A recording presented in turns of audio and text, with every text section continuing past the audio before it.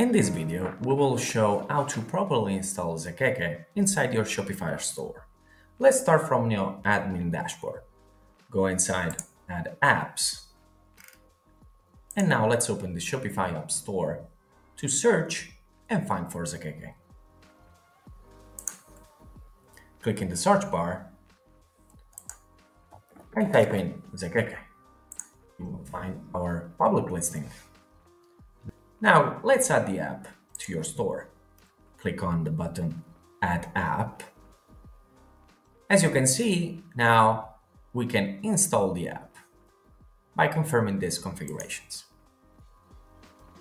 We can start our free trial for 14 days by clicking in this button. Once you click on the button, you will be redirected to the approved subscription page where you will not be charged because of the free trial.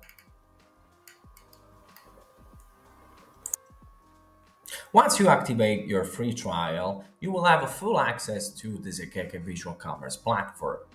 Here you can set up your Zakeke account by following these simple steps in this list. You can see the days left in your free trial here in the bottom left. And you can select your solutions here, the visual product customizer or the product configurator for made to order products or the 3D and AR viewer. Remember that you have full access to the Zakeke visual platform during the, your free trial. You can always switch solution here and select all the options and features that you want in the left menu. Now, let's go back to your Shopify admin dashboard.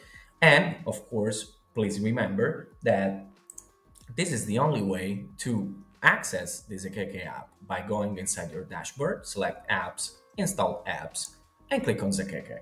And there you go, our Zakeke dashboard opening up by just clicking that button.